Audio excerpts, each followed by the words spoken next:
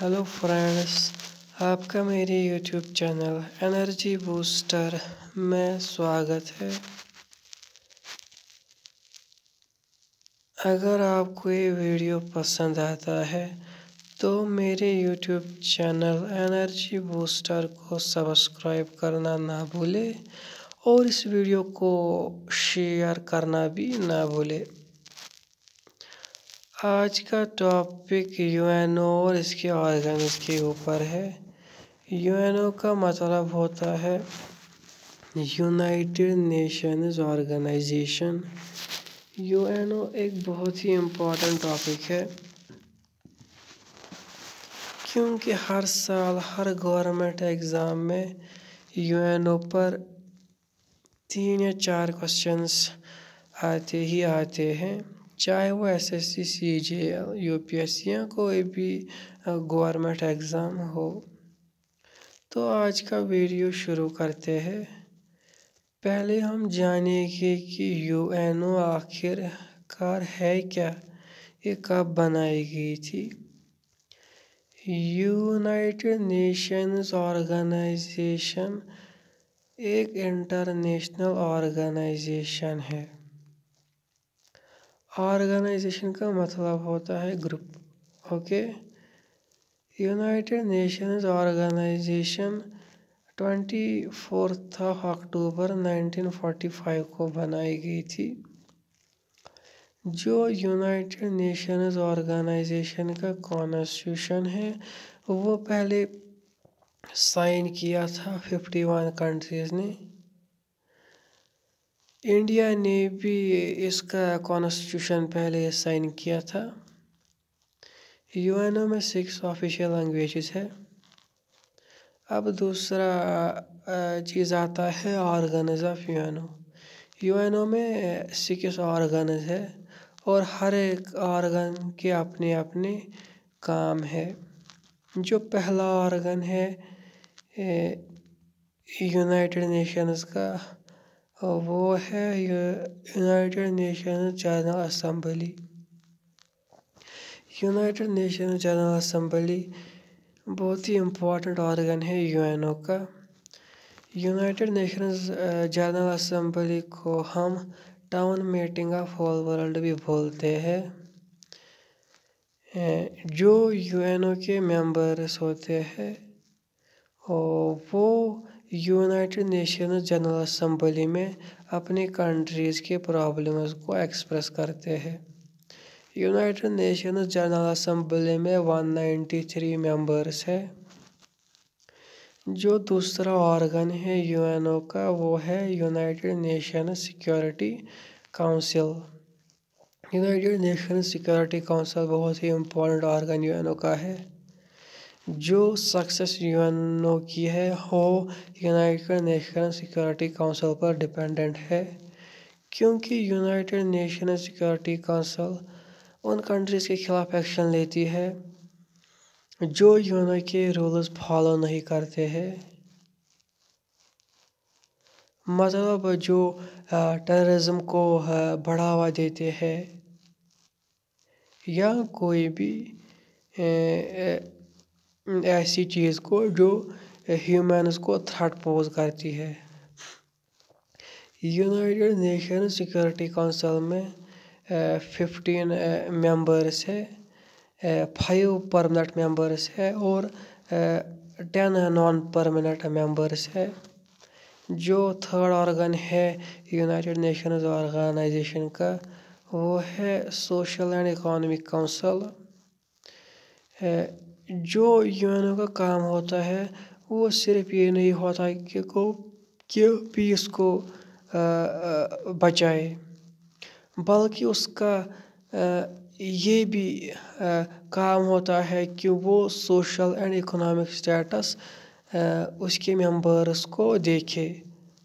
जो social and economic council है, वो social and economic status countries के देखता है। मतलब सोशल एंड इकोनॉमिक काउंसिल देखता है कि क्या कंट्रीज़ की इकोनॉमिक या सोशल कंडीशंस अच्छी है? अगर नहीं है तो सोशल एंड इकोनॉमिक काउंसिल कोई एक्शन लेती है।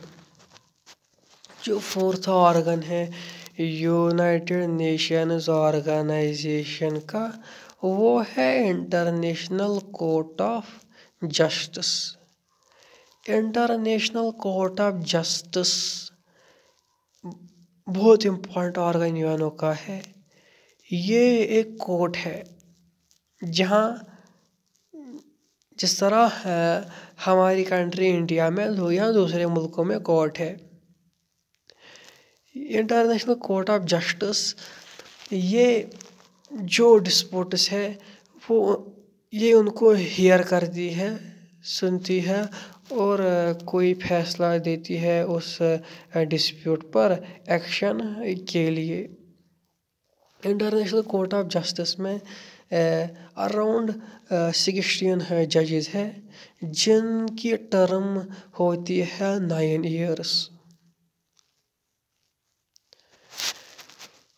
जो फिफ्थ ऑर्गन है यूएनओ का, वो है Trusteeship Council Trusteeship Council United Nations General Assembly के अंडर काम करती है. ट्रस्टीशिप काउंसिल उन एरियाज़ को देखती है जो जापान और जर्मनी ने फ्री किए थे सेकंड वर्ल्ड वार के बाद ट्रस्टीशिप काउंसिल की ये भी ये भी फ़ंक्शन होती है कि वो जो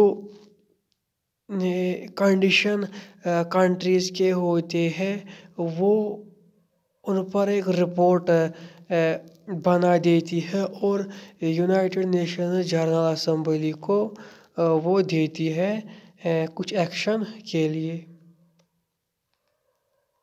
मतलब अगर किसी कंट्री की सोशल या इकोनॉमिक कंडीशन अच्छी नहीं है तो ये एक रिपोर्ट बना देती है और यूनाइटेड नेशन जनरल असम्बली को भेज देती है एक्शन के लिए। जो सिक्स ऑर्गन है वो है सेक्ट्रेट। जो सेक्ट्रेट है, वो भी एक इंपॉर्टेंट ऑर्गन है, यूएनओ का। जो सेक्ट्रेट है उसका हेड होता है सेक्रेटरी जनरल जो आज का सेक्रेटरी जनरल है यूएनओ का, वो है एंटोनियो गेट्रस जो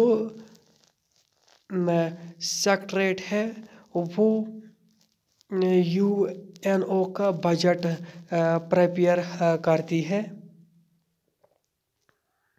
और बहुत काम भी करती है। अगर कोई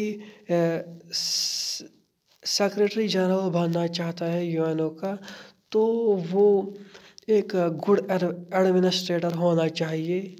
वो एक गुड स्टेट्समैन होना चाहिए और वो रेडी होना चाहिए रिस्क लेने के लिए। तो ये थे सिक्स आर्गनस यूएनओ के। मुझे उम्मीद है कि आपको वीडियो पूरी तरह से समझ आई होगी। फर्दर इंक्वायरीज के लिए आप मुझे कमेंट कर सकते हैं। और ये मत भूलिए कि और चैनल को सब्सक्राइब करना ना भूलें तो मिलते हैं अगले वीडियो में। Bye bye.